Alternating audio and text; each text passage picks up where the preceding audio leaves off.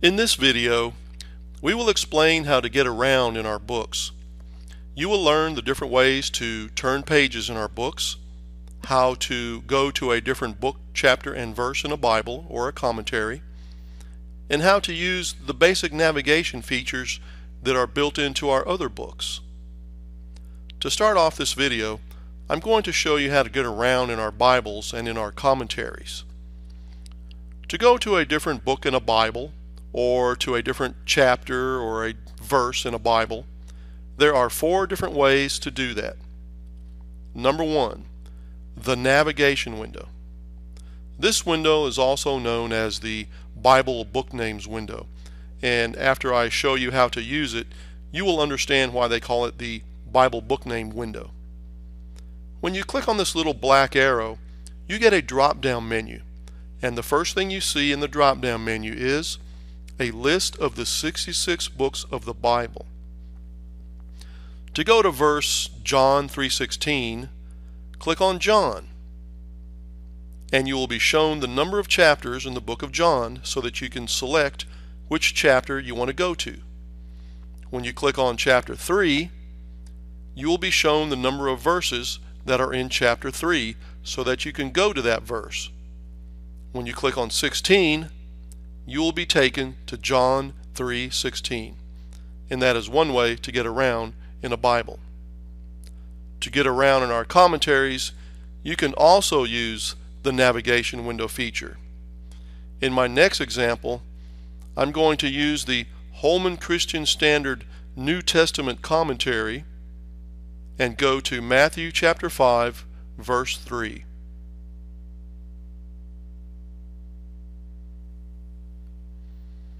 The navigation window is also flexible. Instead of using your mouse pointer to select your book chapter and verse, you can manually type in the Bible book name and the chapter and the verse.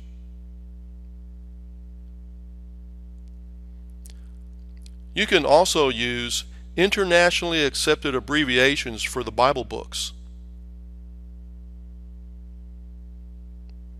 And you can just type in a Bible book name and then hit the enter key. And that will take you to the first chapter of that Bible book. The second way to get around in our books is to use the Table of Contents window. To open the Table of Contents window, you have to click on this icon here in the Book Windows icon toolbar.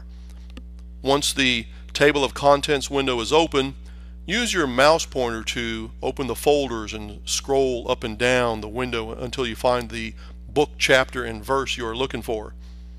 When you find it, click on it, and your Bible will open to that location.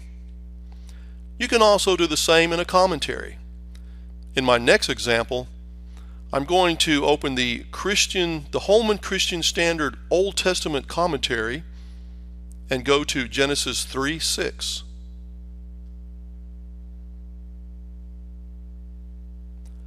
The third way to get around in our books is by clicking on the next chapter and the previous chapter icons located here. These icons advance your book forward one chapter at a time or backwards one chapter at a time. The fourth and final way to get around in our books is to simply push the wheel on your mouse forwards or backwards. Or if you have a laptop, you would slide your finger up and down on the trackpad or use some sort of a gesture on your trackpad. To get around in our other books that do not have a navigation window, you can use the following features. You can use the table of contents window. You can use the next entry or previous entry icons, or you can use the entry name navigation box, which is just a fancy name for a box where you type in a word to help you go to that page. In this example, I'm going to open up a book called The Holman Treasury of Key Bible Words. Since this book does not have a navigation window, you have to use its entry name navigation box. So I can either click on this drop down arrow and select a word from the list or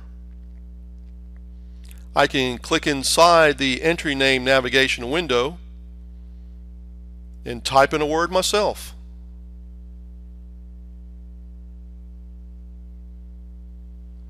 You can also open the table of contents window and click inside the filter field located here. Then just type, type in the word you're looking for. If the word appears anywhere in the table of contents window, it will be exposed and all you have to do is just click on it and the book will open to that word.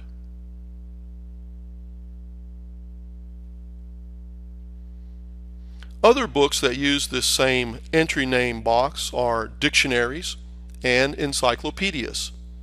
In this example, I will open the Holman Bible Dictionary. It has an entry name window located here. I'll type in the word salvation.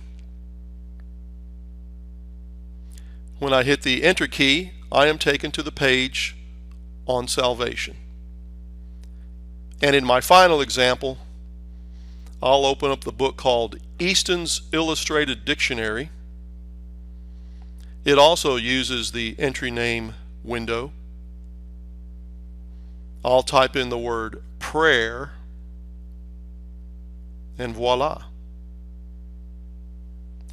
You can also open the table of contents window and click inside the filter field located here then just type in the word you're looking for.